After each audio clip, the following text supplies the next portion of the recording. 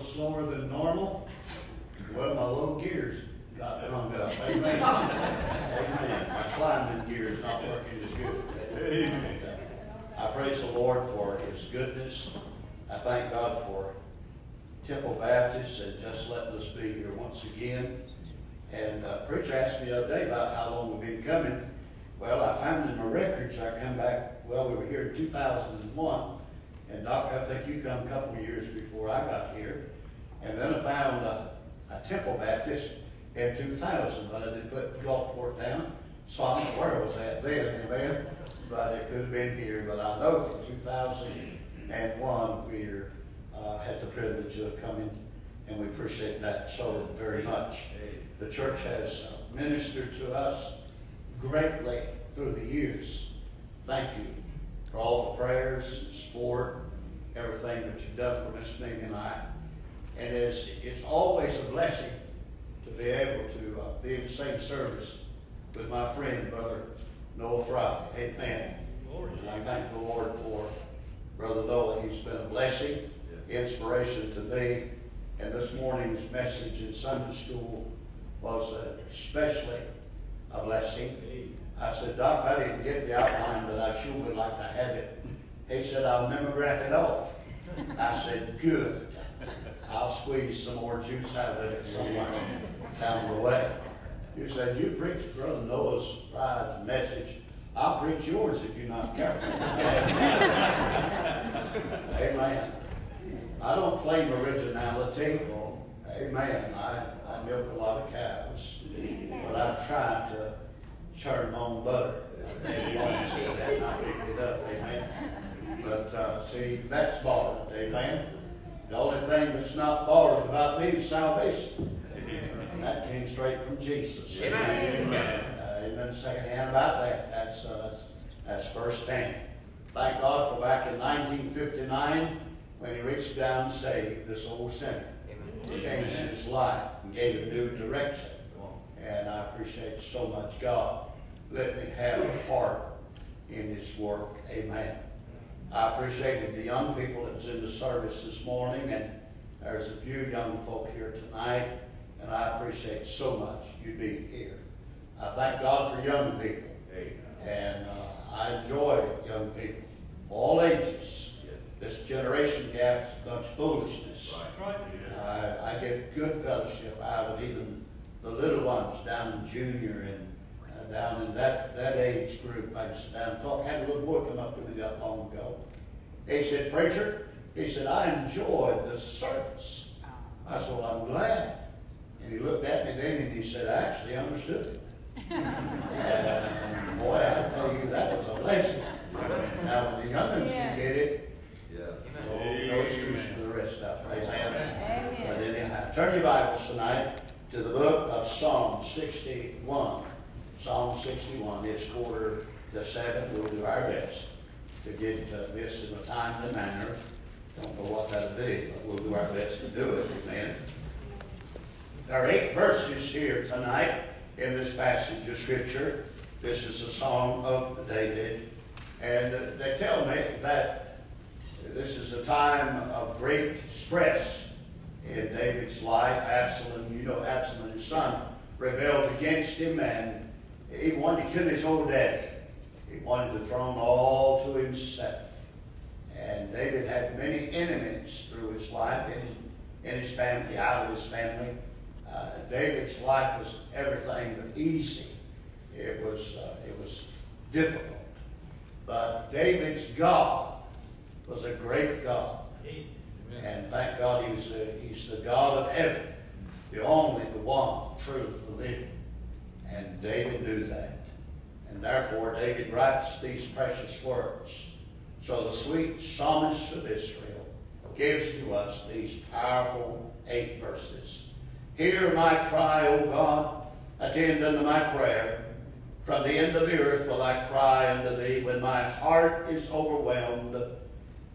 Lead me to the rock that is higher than I, for thou hast been a shelter for me and a strong tower from the enemy. I will abide in thy tabernacle forever. I will trust in the covert of thy wings, Selah. For thou, O God, hast heard my vows. Thou hast given me the heritage of those that fear thy name. Thou wilt prolong the king's life and his years as many generations. He shall abide before God forever. Oh, prepare mercy and truth, which may preserve him. So will I sing praise unto thy name forever, that I may daily perform my vows. Father, thank you tonight for the reading of the word. Pray, dear God, for the sweet touch of God now upon our hearts. Open our eyes that we may see wondrous things out of thy law. Lord, we know tonight that there were times in your men of old that they saw you who is invisible. Lord, they were able to endure. Father, I've been looking at this, these two words on the pulpit ever since I got here. Don't quit. Oh, dear God, help us as your children. Not quit. Help us, dear God, grab a fresh handful of responsibility, enjoy with it, and go forth and do that which you'd have us to do. Sow the seed.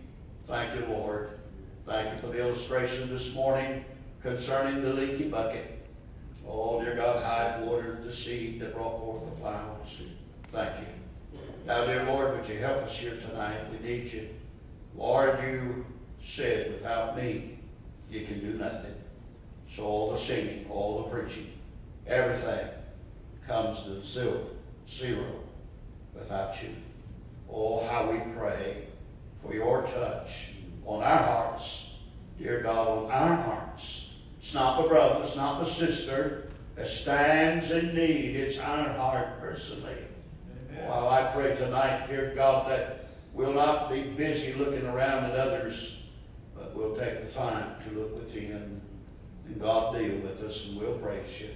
In Jesus' name, amen. amen. I'd like to think with you tonight on the subject David's vows to God. And David does make some vows to God. Notice in the first of all, we'll just go with verse 1 and walk on down through these eight verses. Get the mule out, climb a little bit, and you get these eight verses. That's eight rows, and we're going to put mule and bone. Amen. I don't know, there might be a few stumps in here, might be, I don't know. It's old crabgrass. Plow might jump out of the ground. Uh, might balk on it, but nonetheless, uh, we're going to try to get these eight rows. Amen. Notice in verse 1, David's plea. David's plea.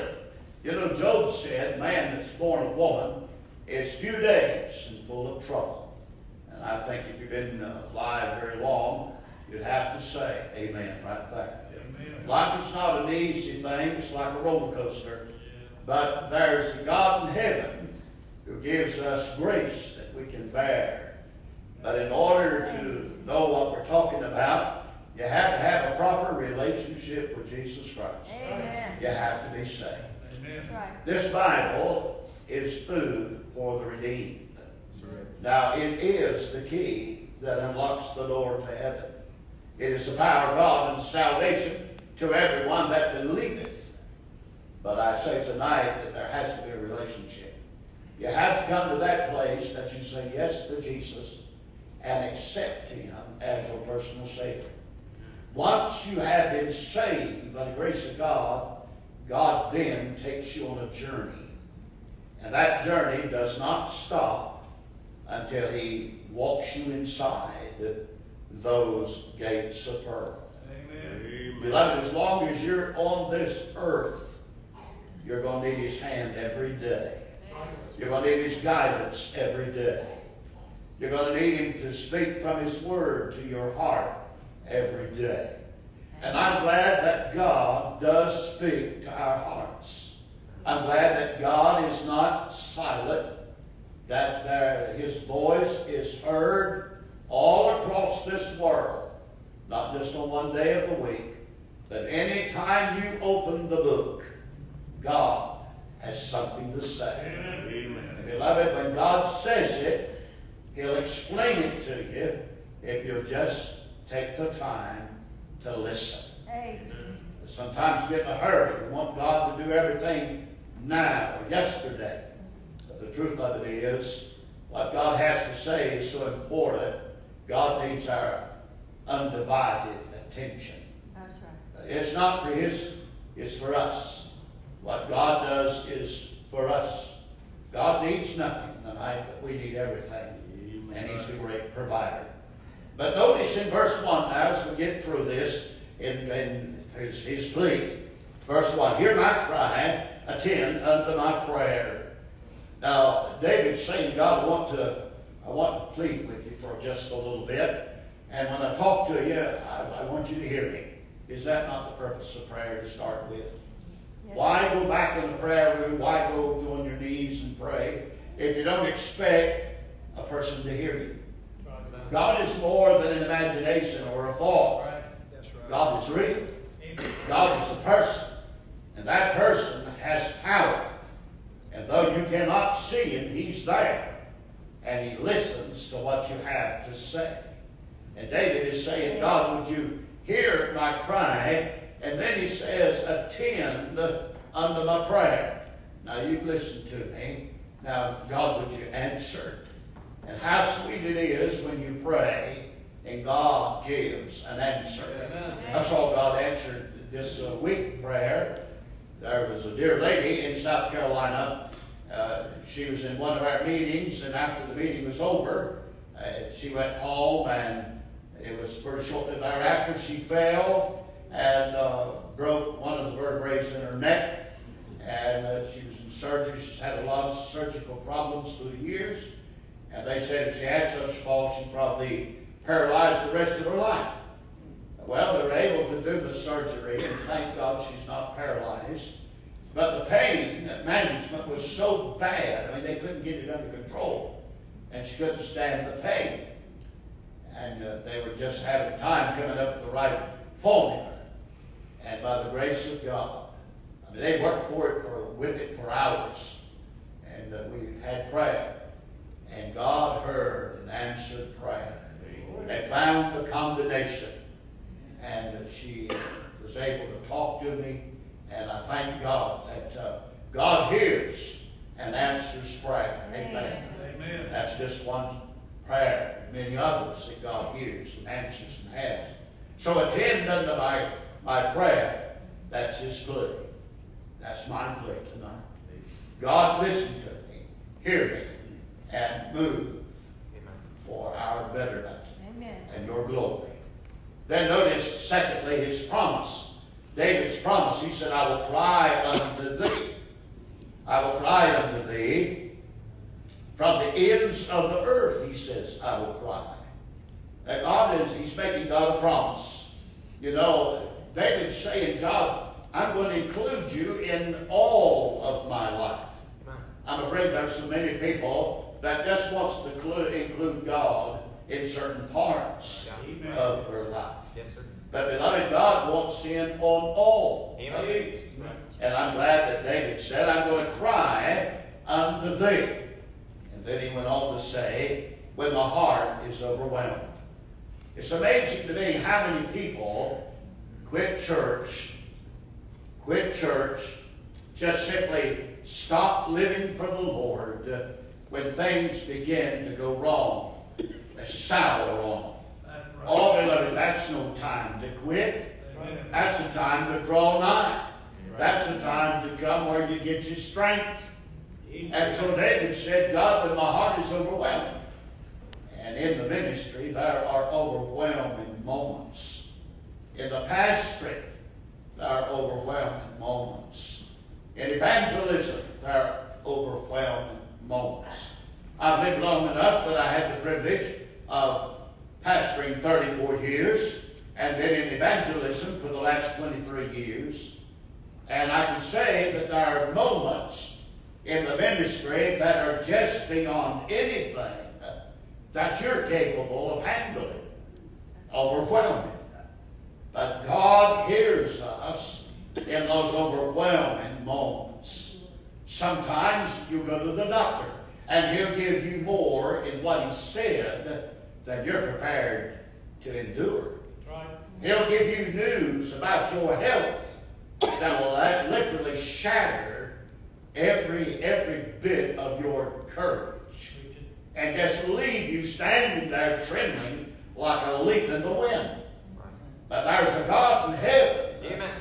who's saying, I've got it, son. It's all right. Amen. Brother Michael years ago wrote that song, uh, uh, Whether I Go or Whether I Stay, I'm a winner either way. Amen. Oh, beloved, God gives grace. He gives grace for the living to live. He gives grace for the dying to die. God's grace is amazing. Yes, and it's always sufficient. Yes, the Bible says, where sin did abound, the grace of God did much more abound. Yes. And so David's promises, God, when uh, my heart is overwhelmed, I'm going to cry. Then he makes a request. He says, lead me to the rock. That's his promise.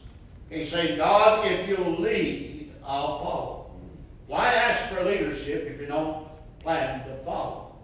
So David is saying, God, if you'll lead me, I will follow. Now there's been days gone by, I've heard a lot of people say, and I've been in the way the Lord led me. And they were saying something, they made a decision, and they now are saying, the Lord has led me. But if you read that in its context, that statement is not a statement about the future. That is a statement looking over your shoulder at the past that you have done what God told you to do, and now it's obvious that it was God that told you to do it. Eliezer could say, I've been in the way, the Lord has led me. In other words, I followed his leadership, and now God is answering prayer. And I'm thankful that David is saying, God, if you'll lead me, I'll follow. Bible says as many as are led by the Spirit of God, they are the sons of God. Amen. I'm thankful for the leadership of God. Thy word is a lamp unto my feet and a light unto my path. And that speaks of God's leadership again in our lives. So he promises to follow. And then he says, lead me to the rock that is higher than I. The rock is stability. The rock is stability. And David says, there's something higher than I. There's something bigger than you and me. I'm afraid there's a lot of people, their lives just saying it's involved in their yard, their life, whatever's on their plate. That's all that's taking place. Uh, beloved, that's not the way the Bible predicts, uh, just picture sake. You see, uh, God is, He is a rock that is higher than you and I. We, in the time of trouble and storm, we have got a hiding place. In a time when things are slippery, we got a solid foundation. The precious Word of God. And so he, his plea in verse 1, his promise in verse 2. But notice verse 3. I love verse 3. Verse 3 says, For thou hast been a shelter for me and a strong tower from the enemy. He says, For thou hast been. That's past tense. He says, Thou hast been. This is his pondering. His pondering. In other words, he's looking over his shoulder. I've heard people say, well, you ought not look back. Well, it's according to what you're going to look back for. Now, if you're looking back to go say, well, boy, it was better back there than it is up here. Better back in the world than it is here. No, that's that's looking back. That's lot, lot, Lot's life. But I believe that in the Christian's life, you and I ought to be looking back quite often. We look back at the prayers that God has answered. We look how God's led us through uh, areas that absolutely we wonder how in the world we're going to make it. We look back and see the greatness of God in the past and the greatness of God of the yesterday gives us courage to face today. Right. Because he changes not. He's the same yesterday and forever. I watched God answer prayer uh, concerning places to build churches and ministries and things we had need of. And And I've watched God do things that absolutely only God could do. Right. And those things encourage me to see. When I look back, I remember prayer rooms where we used to uh, gather up into the prayer rooms and have about 25, 30 men. It was not unusual to have that many in the prayer room. And an uh, old tile floor. And I can see tears all over that floor. And then you could hear them crying and saying, Oh God, save. And they would beg God to save friends, neighbors, loved ones, family. If God save. And then I've heard even people say in that prayer room, Have you ever trusted Christ? Because they'd invite somebody up there that wasn't used to going. And I've actually seen people saved in the prayer room, and it was a pool of tears Lord. all over the place. When I look at that, I say, Oh God, would you do that again? Oh yes, I want to see that again. And what I've seen yesterday, I'm talking about the yesterday's, encourages my heart to face today and the future.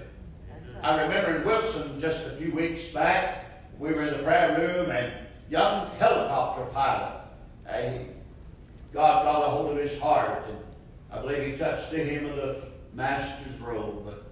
Oh, he prayed, uh, he began, us, he was right beside me. And that young man, his tears was puddling in that metal chair that he was kneeling down in front of. And after it was all over with, the pastor and a couple of fellows came by as if to console him. And I thought, oh no, Oh, he's not the one that needs ministry to here. It's the rest of us. That's right. And I walked out of that room going to the pulpit, and as I walked out of the room, uh, I had to stop. Stop before I got to the auditorium and turn my face to the wall. And I said, Oh God, I'm cold. My heart's like an ice box. My tears are drying up.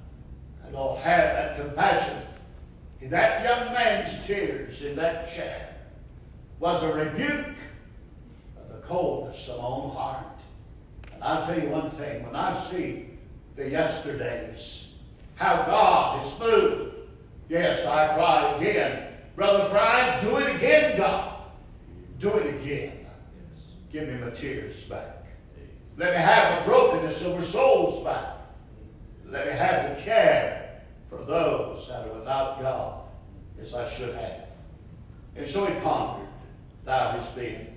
And in his pondering, he spoke of two things shelter and strong tower.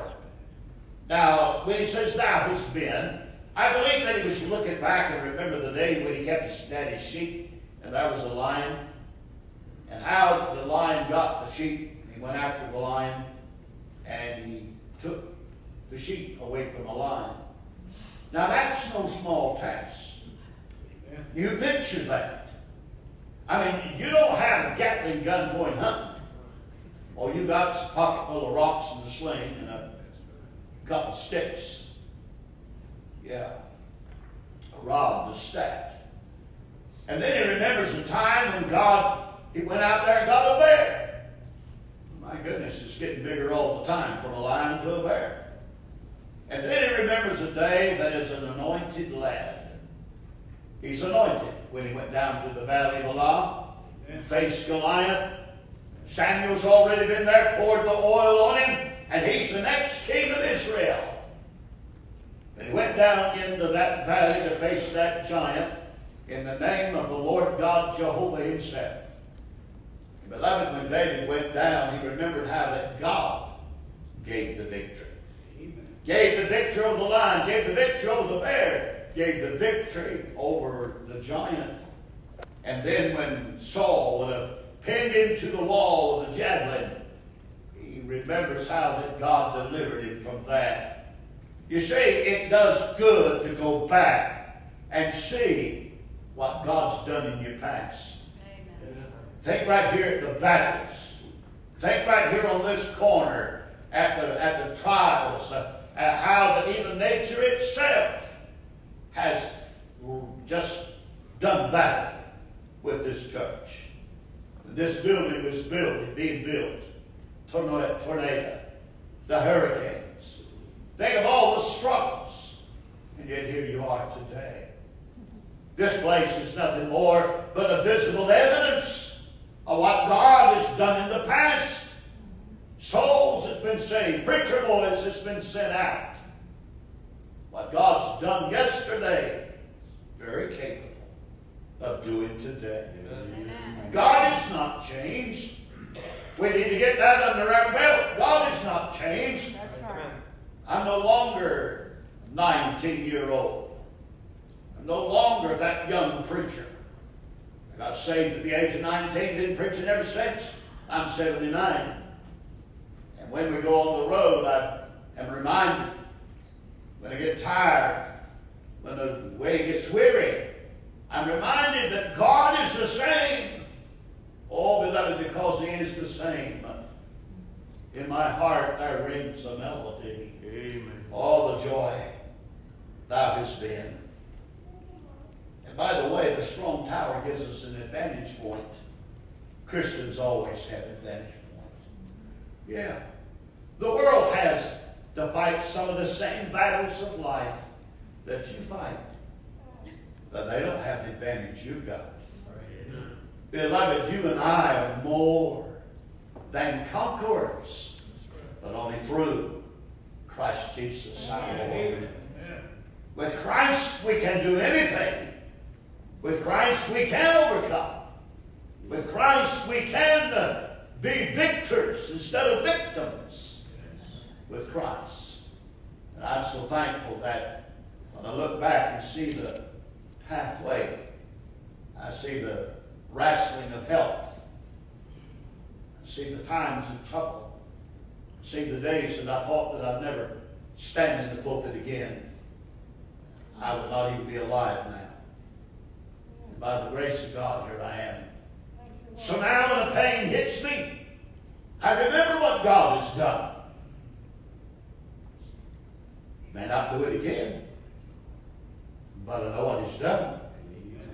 And what He's done gives me hope. So I just press on like He's going to do it. Amen. Amen. That's right. Notice verse 4. Not only his plea, verse 1, his promise, verse 2, his pondering, verse 3, his place of blessing, tabernacle, place of worship, covered of thy wings. You know, David do something about the tabernacle, amen. It's a place of worship. And David remembers a place of worship. Oh, I like church. Yeah, I like that singing, fellas. I like that about the cross. Yeah. And that about the blood, about the Savior. I tell you, what do you shout? Amen. Amen. It's good to shout.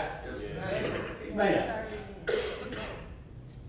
Well, these days I'm liable to forget my arthritis.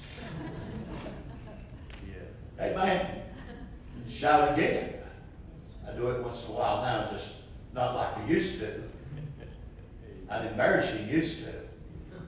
You wouldn't look at this little fat man tonight and think, he ever jumped up the railings and run them, did you?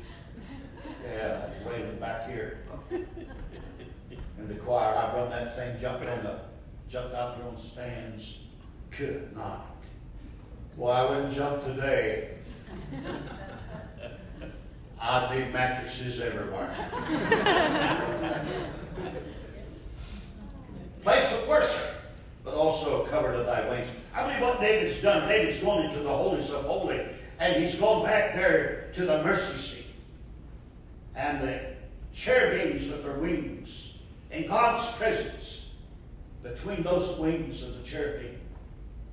And when David talks about the cover of thy wings, he's talking about being in there in the presence of God. Oh, beloved, there isn't anything like the presence of God. I've seen it melt the heart in a second. I've been, I've been sitting in church and, and my heart just seems so hard and so cold. And I look around and I say, Lord, they sure are enjoying this. But I'm not, I'm not, I'm not getting what they're getting. Oh, I'm saved. I'm washed in the blood. I'm going to heaven. But I'm not tapped in like they're tapped in right now. And I say, oh God, I need some help. By the time I think it's all over with, sweet Holy Ghost of God come down, grab my heart and hug it. Oh, I tell you right now, nothing like the presence of God. Oh, nothing like the presence of God. Leave there on my face just all full of tears. There isn't anything uglier than a man crying. Yes. He gets his face all tore up. Doc, you talking about that man this morning had an ugly face. I remember Brother Billy Kelly. I can remember, I see him crying now. Oh, Brother Billy Kelly crying. He's an ugly man when he was crying. But I tell you what, he was a, he was a sweet man when he was crying. I tell you, I, I want to go. I'd rather go out of the church. Somebody's look and say to me or say about me, what in the world's wrong with him? My goodness, he just got all tore up. I'd rather that be said about me than say, boy, he looks good. Because I've heard them say that about dead people. That's right. He looks good. oh, if, if God would grant me one wish, if I got to go the way of the grave, and somebody walks at my, up at my casket and says, boy, he looks good, I'd like to be able to just wink at him.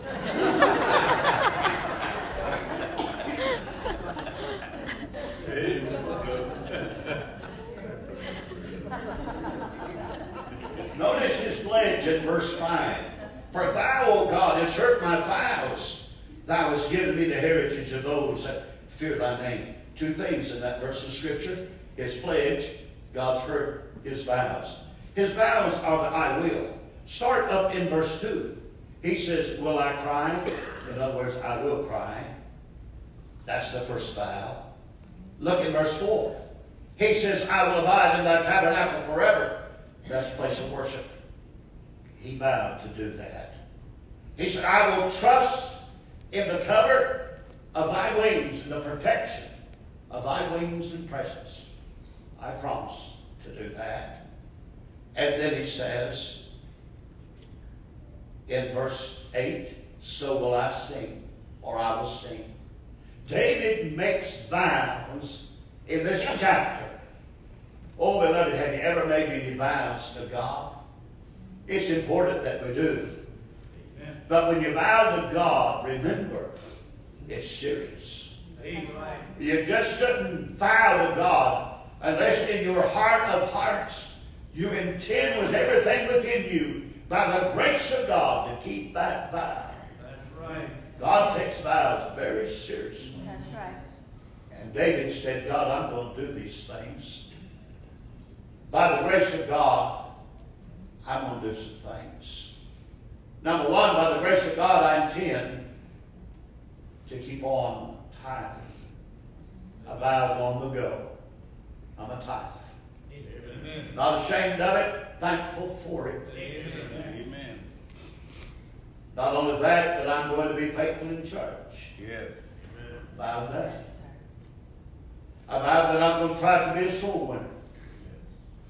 There's some things that you and I need to make a vow to God.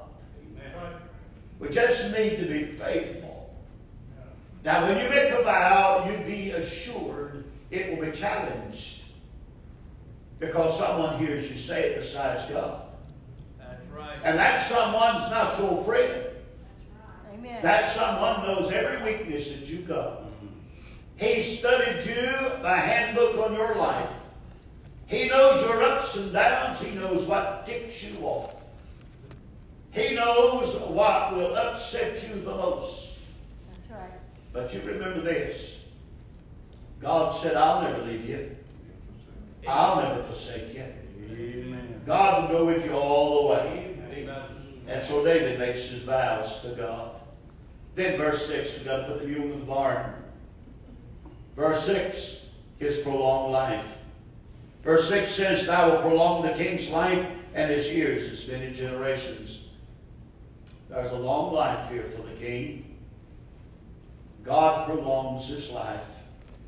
Look at verse 7, his preserving, his abiding for, before God forever. He shall abide before God forever. Oh, prepare mercy and truth which may preserve him is abiding before God forever, God will preserve you, and mercy and truth are used. Truth is marvelous. It sets you free. Amen. The truth of God. I like the song the fellows just got through singing about not compromising. Oh, the Word of God, keep it right. Just keep on. Truth don't need apologizing for. Truth just needs to be, to be told. Truth, you don't even have to back up truth. Truth will back itself up. Amen. Truth will never call for your Calvary to come to the rescue. Truth carries its own Calvary. Amen. Thank God the truth is powerful. Amen. Jesus said, I am the truth, and I am the way. Not only do you find his preserving, God preserving him, but not in the tent, but in God's presence forever. That's what it's talking about. Verse 8, we're done. Amen. Mules in the barn. Verse 8. So will I sing praise unto thy name forever, that I may daily perform my vows. There are four things in this verse. Look at it. It's praising God now. Praising, I'm going to sing praises unto God's name. There's no other name like that name. Right. There's one name given under heaven among men whereby we must be saved. Amen. That name is Jesus. Amen. Thank God. The time forever. We have worship service, we say from this hour to that hour. But we're fixing to go to a land. We're going home. Yes. And we're fixing to get in the service that there is no the end. That's right. I mean, it's, you talk about jubilee. It hadn't entered our heart or mind what God's got prepared. Mm-hmm. But I can tell you one thing. It's better than anything we've known down here. Praising enabled David to daily perform his vows. It is, it is easier to be a singing Christian than one that doesn't sing. Singing somehow or another lifts the soul, lifts the spirit. And I believe we ought to sing praises unto God. Amen. Amen. You say, well, I couldn't carry a tune in a bucket. We're not talking about buckets or carrying tunes. We're just talking about praising God. Amen. You know, sometimes we just sort of off, just right out of just embarrass ourselves. I mean, if you've never embarrassed yourself, you hadn't lived yet. now, I'm talking about personal embarrassment now. Amen. I mean, just, just haul off and be in the mall, be somewhere else. Rear back, her rip. Now, they may come at you little white coats, but just go ahead and sing to get you all tied up. Amen. I believe singing enables us to carry out our vows easier. Amen. A merry heart doeth good, like a medicine. Amen. There's a lot of poison in this world. There's a lot of things that get in our hearts and lives and minds that drain our strength. But, oh, beloved, when you start thinking about God, and you think about His provision and His Word and all that, and you begin to sing, you begin to put in song, and you begin to praise God, did you know that you can't praise God and grumble at the same time? You can't praise God and gripe. No. You can't praise God and gossip. I mean, when you praise God, that's all that you can do because otherwise you're not praising God.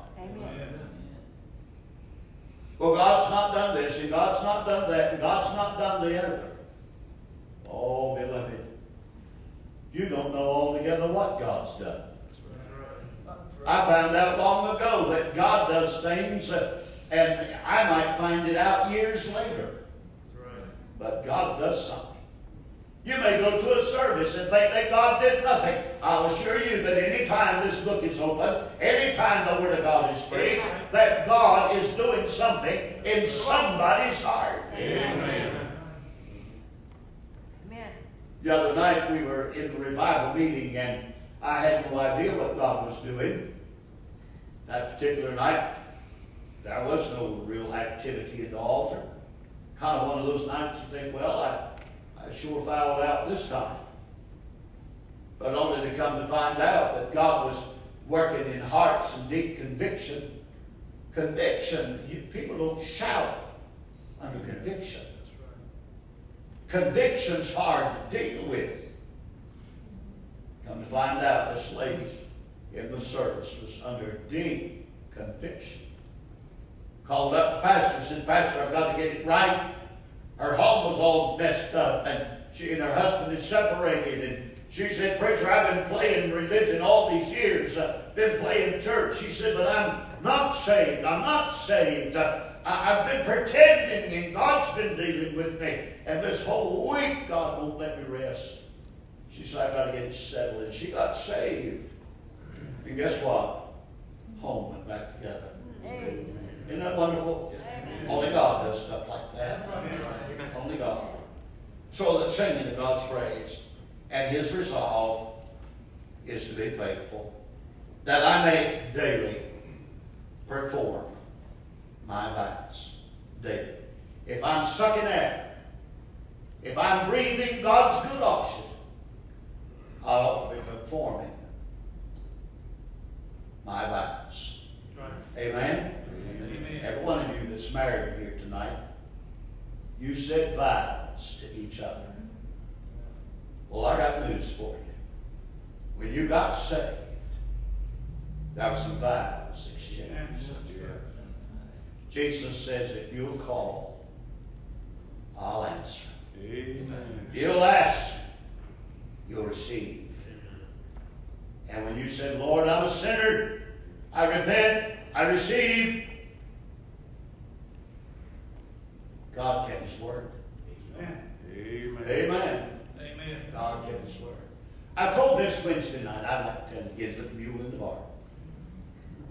I was, I was dreaming. I had dreams. Oh, Lord, do I have dreams. I tell you, I don't believe anybody has any dreams like I do. They're crazy. But this one made sense. And I was dreaming and I was singing in a dream. And I singing a song, Hallelujah to the Lamb. I never heard these words, never heard this tune. And I woke up, my wife said, You're singing. I said, No. And I grabbed my pencil and paper and I jotted it down. I may have it in here somewhere. And uh, it's, uh, man, if you looked at it, you said, I'm working, you make heads and tails out of that. Hieroglyphics. No, no more difficult than than this little iPad. But I, I wrote it down, and it goes like this. Just a little bit of it. Hallelujah to the Lamb. Hallelujah to the Lamb. Hallelujah to the Lamb of God. Hallelujah to the Lamb. He is the great I am. Hallelujah born in Bethlehem. He would die for Adam's sin. Hallelujah to the Lamb of God. He would go to Calvary and die